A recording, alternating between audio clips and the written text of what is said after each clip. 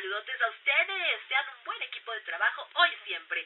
2681. La Lore, puedes poner la canción de Payphone de Maroon 5 y dedica una yajá para Leo y. ¿Te escuchan? Panorama Nacional. Noticias RPTV. Dirige Daniel Muñoz.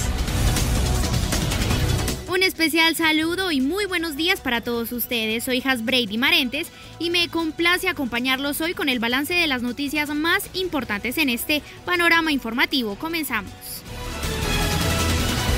En otras noticias, el Departamento Nacional de Planeación anunció que pronto se iniciará la toma de municipios en colaboración con alcaldías municipales para entregar el ingreso solidario. Paula Osorio con más información.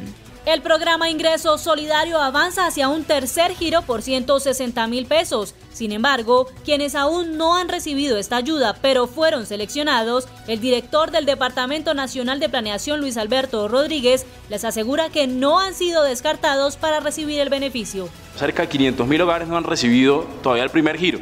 ¿Qué pasa con ellos? Pues a ellos les enviaremos los tres giros en uno solo. Les mandaremos 480 mil pesos. Según cifras del DNP, Ingreso Solidario ha llegado a más de 2.400.000 familias en todas las regiones del país.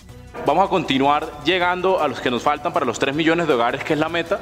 Eh, para eso hemos dispuesto un nuevo proceso que se llama toma de municipios, lo hemos hecho con 168 municipios, muy coordinados con las alcaldías, para poder llegar a hogares que no tenemos los datos actualizados. Con ellos llegaremos de forma presencial. Por eso fortalecieron la red de entrega presencial y a través de varias entidades bancarias esperan llegar a 360 mil beneficiarios más apoyados directamente con las alcaldías municipales.